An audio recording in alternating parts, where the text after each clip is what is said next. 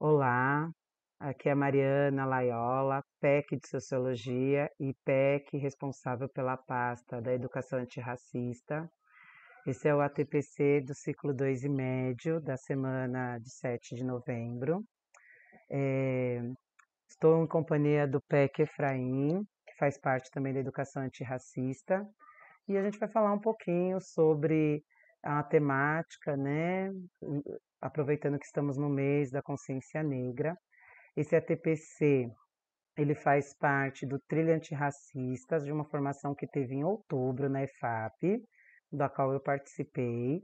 Então, ele é um pedaço dessa formação. Tiveram diversos temas, e aí um dos temas é um pouquinho do que a gente vai discutir aí nos próximos minutos. O objetivo específico é promover vivências e reflexões para o desenvolvimento de ações formativas antirracistas a partir dos princípios e fundamentos pedagógicos do currículo paulista. Bom, é importante sempre a gente lembrar das leis que, que organizam o nosso trabalho numa, numa educação antirracista, num viés de uma educação antirracista. A primeira é a Lei 10639 de 2003, que institui a obrigatoriedade do ensino de História e Cultura Afro-Brasileira nas instituições escolares. E em 2008 ela sofre uma modificação, que é a Lei 11.645, que torna obrigatória a história de cultura afro-brasileira e indígena nas escolas. É, porque é sempre importante a gente lembrar para a gente não deixar de organizar as nossas aulas, lembrando que temos essa legislação aí em vigor, lembrando da importância dessa, dessa prática pedagógica antirracista, onde a gente vai trazer um pouquinho da história, da contribuição da cultura negra e indígena para a nossa formação enquanto povo brasileiro. E aí a gente inicia com a ideia de corresponsabilidade. Então, trabalhar numa perspectiva de uma educação antirracista é, não é responsabilidade de uma ou de outra disciplina ou de um ou de outro professor. É uma responsabilidade de todos os professores e professoras de todas as unidades escolares, porque o objetivo é que a gente não tenha mais práticas racistas nem dentro dos estabelecimentos escolares e nem na sociedade, tá? Então é uma responsabilidade de todos. E aí tem uma frase, né, da filósofa e professora Angela Davis, ativista, numa sociedade racista, não basta é, não ser racista, é preciso ser antirracista. Então é preciso que você se aproprie e tenha práticas que vão combater o racismo que infelizmente ainda está presente na nossa, na nossa sociedade, né, na nossa cultura. Como as práticas de diálogo na educação podem contribuir para uma educação antirracista? Então, aqui a gente pensar quando a gente está dentro da sala de aula e a gente observa que houve uma fala, houve uma ação que a gente entende por racista, né, com um aluno, com um estudante. Então, o objetivo do nosso TPC dessa semana é auxiliar os profissionais da educação professores, agentes de organização, COIs, diretores, para quando acontecer uma situação racista, como que ele deve agir pensando a unidade escolar, tá? E a gente já está trazendo aí no nosso título um pouquinho do caminho, né? Que é o caminho do diálogo. Bom, a gente novamente retoma a lei. Existe uma lei estadual, a 14.187 de 2010, que vai falar das penalidades a serem aplicadas quando a gente identifica né, é, um ato de discriminação racial. O importante de conhecer essa legislação, no caso dessa das penalidades, é, é poder fazer com que os alunos, né, com que os estudantes que sofram algum tipo de violência racial, que eles estejam munidos de conhecimento. E aí isso entra na questão prévia, antes da prática do racismo, antes da violência racial, é importante que nós tenhamos conhecimento para que quando aconteça, a gente sabe que caminho seguir. Então, essa é a lei, eu não vou ler artigo por artigo, é legal quando vocês tiverem acesso ao PPT, vocês leiam os artigos, É, e essa lei pode ser trabalhada na sala de aula, com os alunos, principalmente do ensino médio, que tem uma parte das aulas que a gente vai discutir só legislação, nas aulas de humanas, por exemplo, onde os alunos vão aprendendo aquilo que os protege, né? Entre essas, essa é uma das leis, mas tem várias, né? A gente pode trabalhar com o Estatuto da Criança e do Adolescente, por exemplo, sala de aula, fazendo com que os estudantes se apropriem, né, da, de leis, de legislações que possam auxiliar numa situação que ele sofra algum tipo de injustiça, tá bom? Aí, a continuidade da lei, depois vocês podem ler, acessar, discutir, refletir. E aí, algo para nós, professores e professoras. A diferença entre racismo e bullying, tá? É, o bullying, de acordo com a pesquisadora Ellen de Lima Souza, é um comportamento agressivo que ocorre quando alguém intencionalmente ofende, agride e intimida outras pessoas, ocasionando dano e sofrimento. Souza defende que, apesar de ser também uma forma de violência, o bullying é diferente do racismo. Baseando-se em Nilma Lino Gomes, para definir racismo, por um lado, um comportamento resultante da aversão em relação às pessoas que possuem um pertencimento racial observável por meio de características físicas como cor da pele ou tipo de cabelo, por exemplo. Por outro, o desejo de impor uma crença particular como a única e verdadeira. A autora encontra aspectos importantes que diferenciam bullying de racismo. Então, é, diretamente, o bullying ele ocorre nas relações interpessoais. Todas as crianças, todos os estudantes estão sujeitos a sofrer essa prática.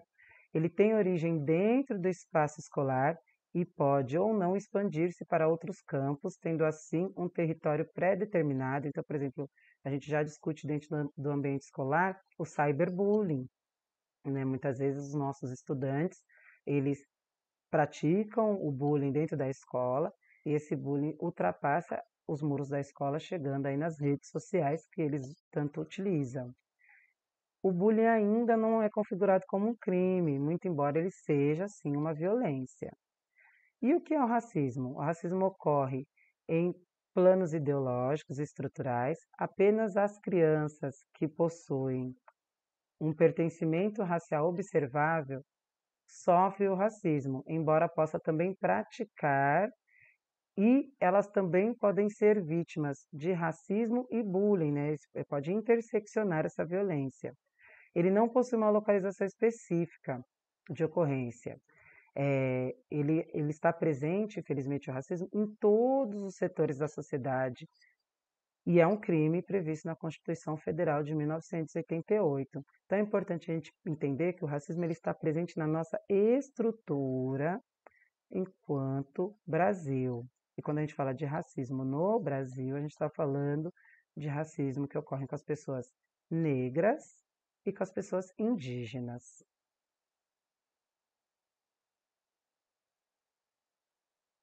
Um minuto.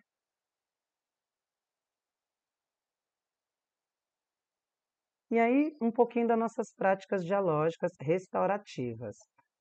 Bom, aconteceu uma situação racista dentro lá da minha sala de aula, ou eu sou um agente de organização e eu observei que tem uma prática racista no pátio. E aí, como que eu devo agir? Né? Essa é a dúvida de muitos dos profissionais dentro da educação.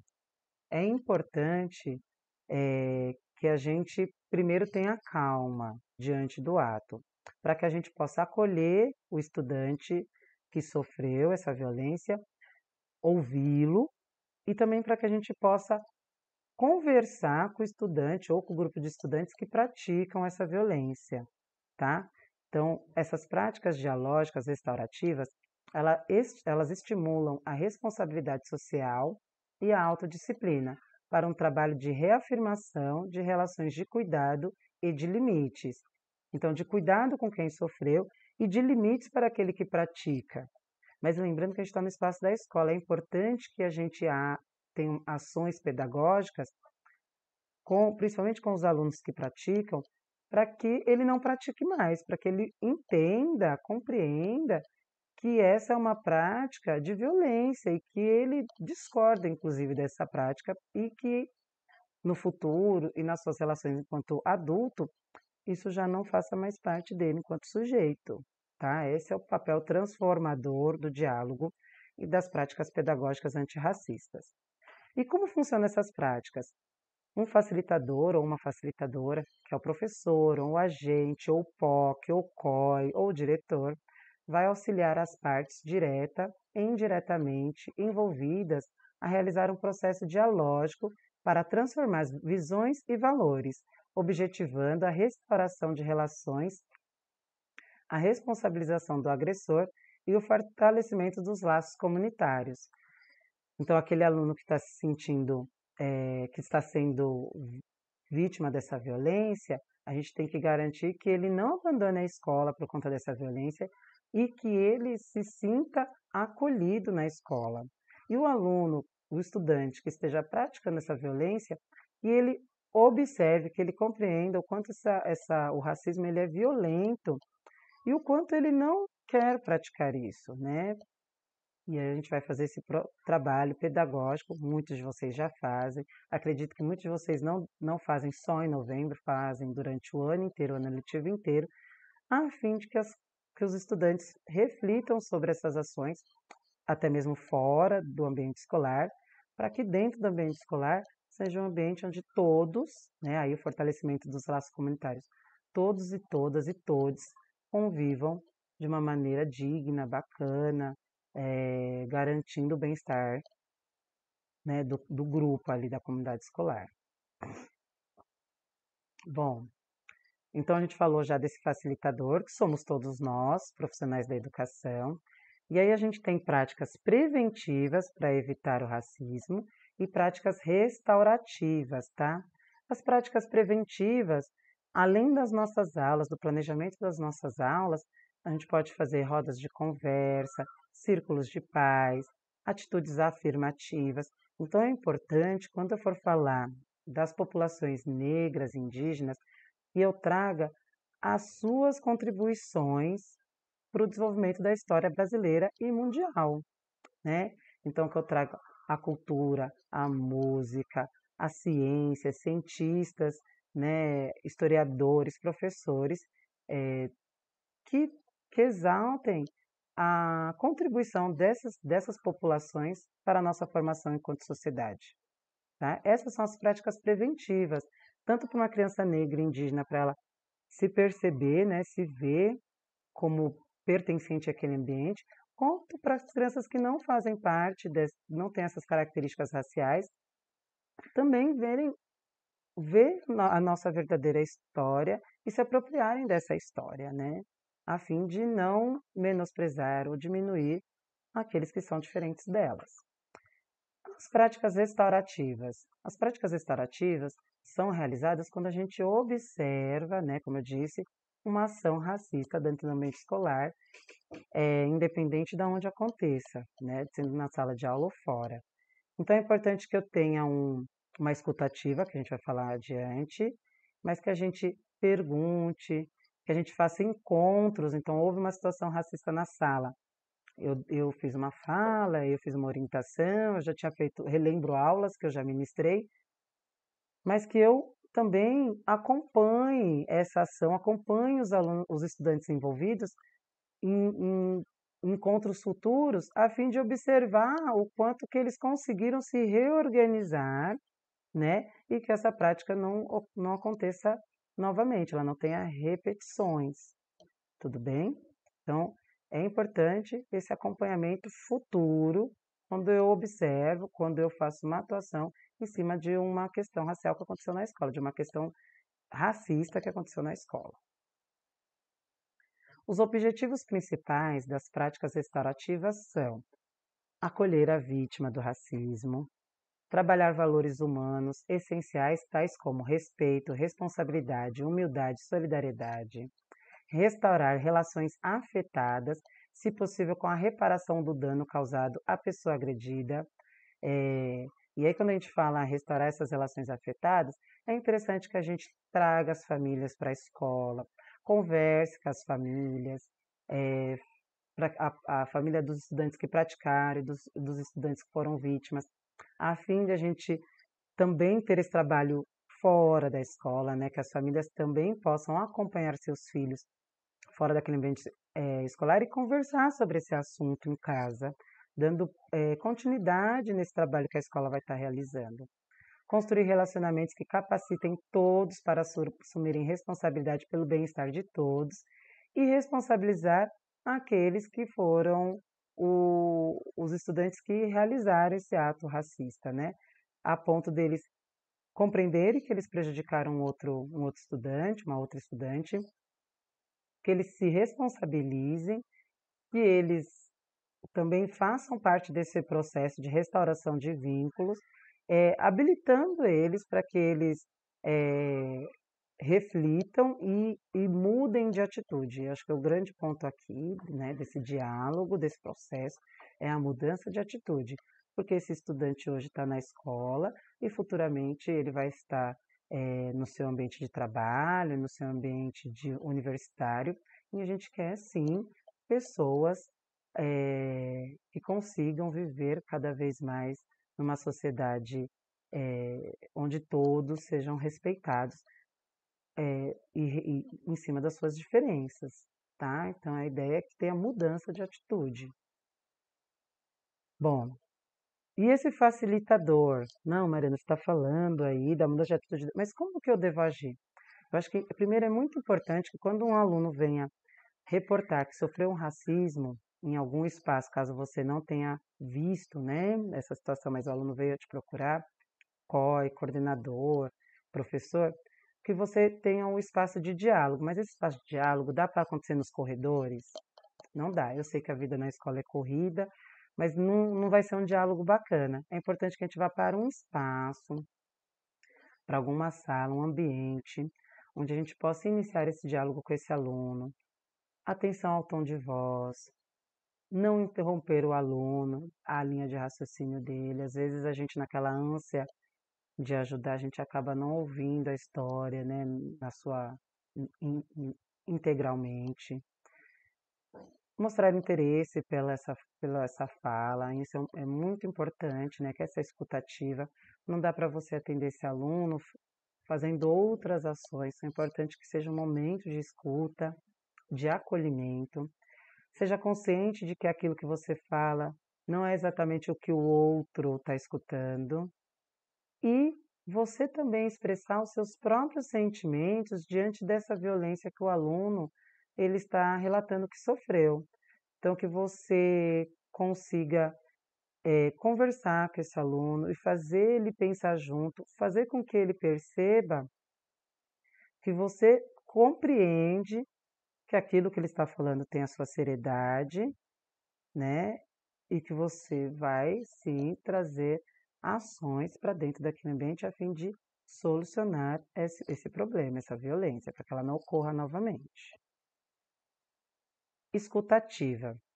Há alguns anos, nós professores, nós professoras, temos escutado muito esse termo, né? Escutativa, escutativa, principalmente o pessoal que trabalha com Conviva. Então, o que é a escutativa? É a ferramenta mais importante para um bom diálogo e para resolver conflitos. É saber escutar com vontade, com atenção e intenção. Escutar demanda é, para fazer uma decisão consciente e a vontade de nos livrarmos da distração e das intervenções. Então, lembra que eu disse, é, é importante que essa escuta, esse acolhimento do aluno que sofreu uma violência racial, que ela seja atenta, né? Não adianta eu estar ali atendendo outras pessoas ou outras demandas, porque eu não vou conseguir pensar, construir uma prática pedagógica antirracista de qualidade, a fim de que isso não aconteça novamente. Além de prestar total atenção na outra pessoa, é preciso escutar também com o coração, com a alma. Aprender a escutar desenvolve paciência e humildade. Tá? Não temos a resposta para tudo. E isso, gente, tem que ficar mais natural para nós, professores. É, às vezes a gente não vai saber imediatamente como agir, mas a partir de uma boa escuta, de um, você faça um, uma reflexão ali daquilo que você está ouvindo do estudante, você vai procurar com sua equipe pedagógica, né, com o grupo de professores, caminhos para que aquela ação, para que aquele ato racista não aconteça novamente. São técnicas para uma boa escuta. Prestar atenção na outra pessoa, permitindo que ela sinta e perceba o nosso interesse pela sua história. É preciso entender a mensagem do ponto de vista do outro, ou seja, da pessoa que fala. Tem um conceito que a gente tem ouvido muito aí, que é o de empatia, né? Se colocar no lugar do outro. Então, a gente lembrar que eu estou falando de adolescentes, que eu estou falando de crianças que estão em processo de formação. Não adianta a gente partir do nosso, da nossa visão de adulto, né? Porque nós já estamos, já passamos por esse processo de formação. Eles ainda estão em formação, tá? Escutar exige esforço para captar a totalidade da mensagem emitida, ou seja, além das mensagens, os sentimentos e as emoções é, um olhar, a forma, às vezes o jeito que a pessoa coloca as mãos diz muito sobre aquilo que ela está sentindo, né? Não fazer julgamento ou reprovações. Ter empatia, disse antes, anteriormente, parafrasear ou reformular. A gente vai falar um pouquinho de, do que é isso, desse parafrasear ou reformular, que vai auxiliar aí nesse processo de atendimento quando o estudante sofre uma situação de racismo na escola. O que é essa técnica da, reforma, da reformulação? Reformular consiste em resumir com as suas próprias palavras as falas do outro, enunciando-as novamente. Então, quando você faz a escuta, você está atendendo o aluno, o estudante, você. Então foi isso, sabe quando você rememora com ele os caminhos que ele traçou? Porque às vezes, quando ele vai fazendo a fala, os caminhos são confusos, ou o aluno, o, o estudante, a criança ou o adolescente vão trazer uma história que aconteceu fora do ambiente escolar, que aconteceu às vezes no final de semana, e ela explode, né? Ela tem o seu, o seu ápice dentro da escola. Então é importante, às vezes essa, essa história ela não vem linear, né? Então é importante que na hora que a gente for conversando, que a gente vá re, trazendo essa linear, esse linear para o aluno né? O começo, o meio e fim, até para você poder pensar como agir.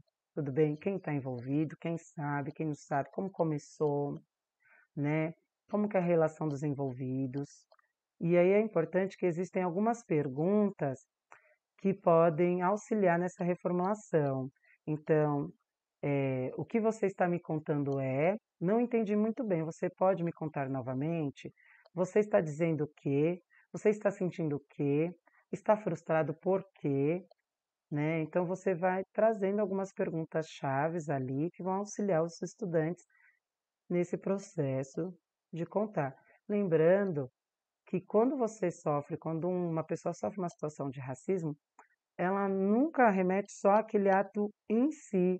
É natural que uma pessoa que foi, que é, foi vítima de racismo, ela relembre outras violências que ela passou da mesma natureza e isso fique ali dentro, porque se não for bem encaminhado, é como se fosse a repetição de histórias violentas. Então a gente tem que ter essa consciência de que o trabalho na, na educação antirracista, na pedagogia antirracista, ele tem que ter essa transformação tá, da prática, dos, principalmente dos alunos que praticam.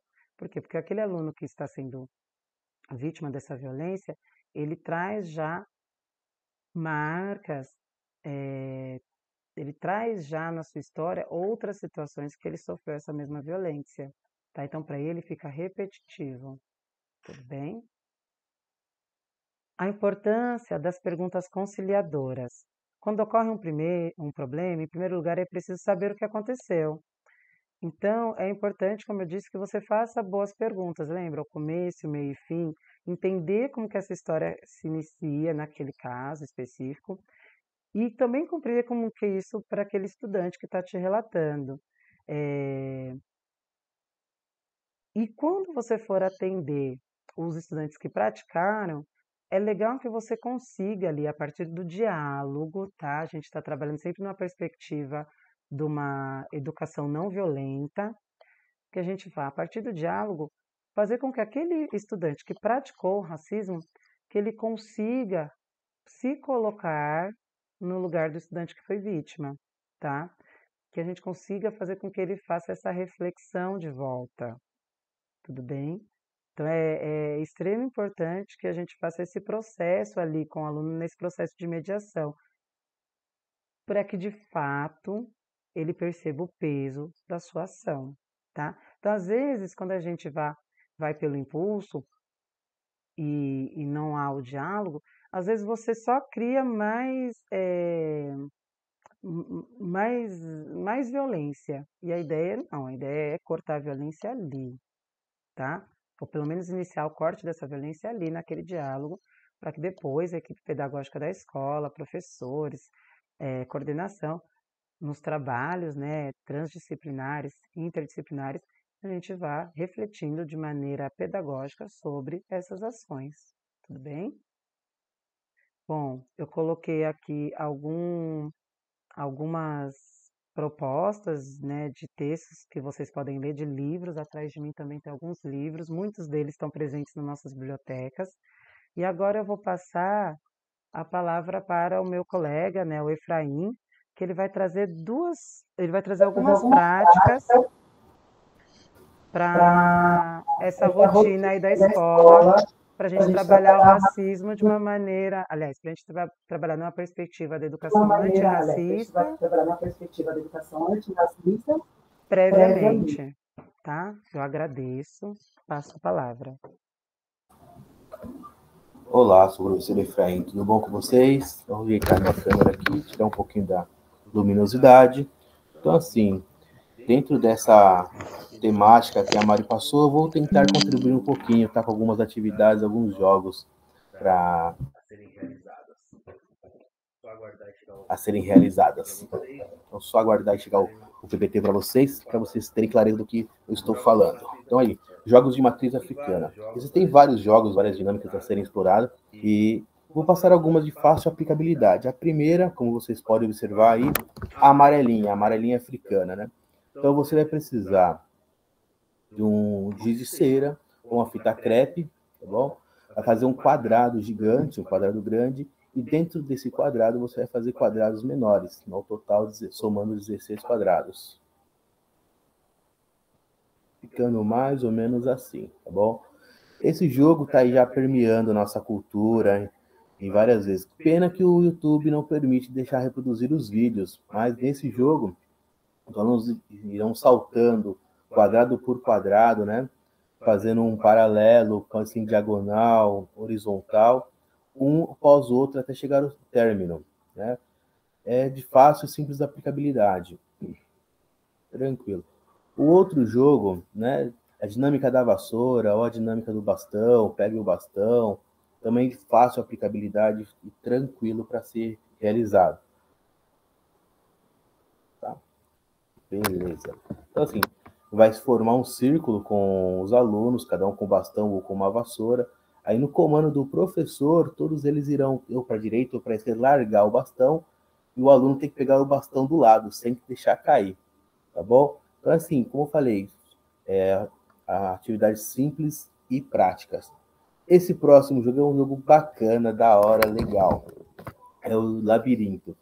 É, tem pequenas escalas, né, como forma de tabuleiro, mas eu gosto de deixar ele em grande escala, usando aí ah, o espaço que estiver disponível, a quadra, o pátio e assim por diante. Né, cada ponto desse diagrama pode ser colocado uma garrafa PET, cone.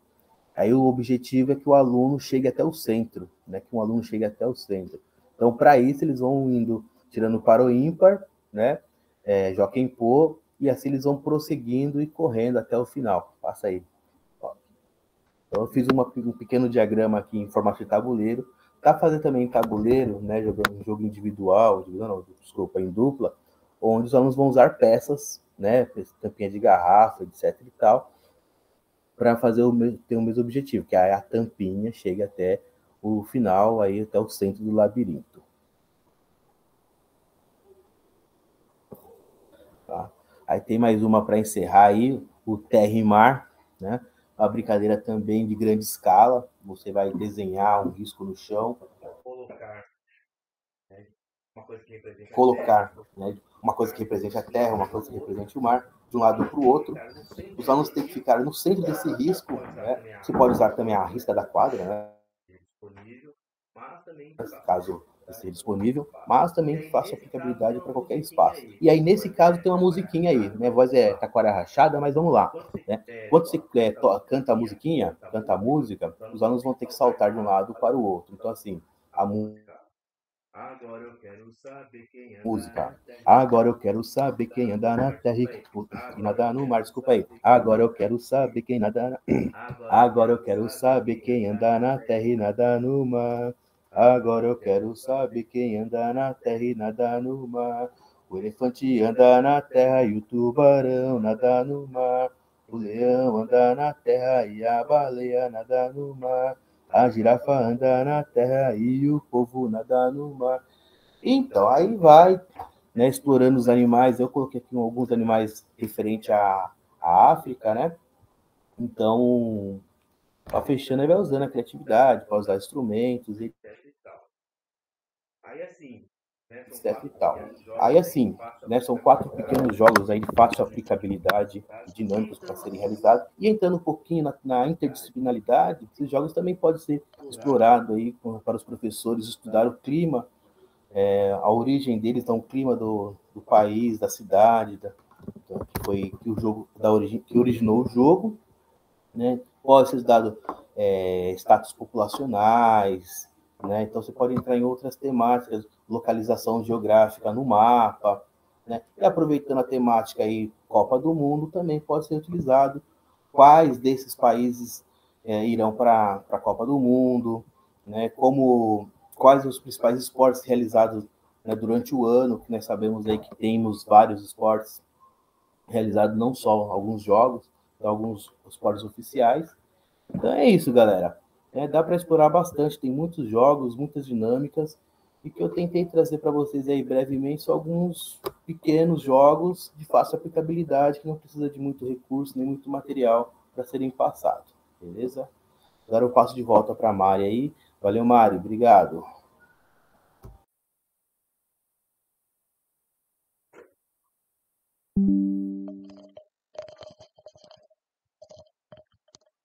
Esperar minha imagem voltar. Bom, gente, é isso. Essa é uma breve contribuição. Como eu disse, esse ATPC faz parte aí da trilha antirracista, né, de uma formação de dois dias, então esse é um dos temas.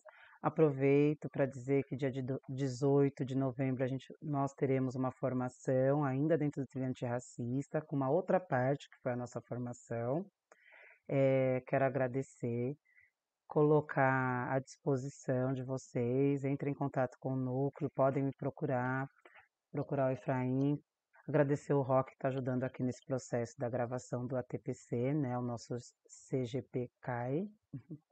E é isso, espero ter, esperamos ter contribuído aí um pouquinho nesse diálogo. E o que a gente puder ajudar, a gente vai para as escolas e vamos construindo coletivamente. Muito obrigada e bom trabalho a todos, a todas e a todos.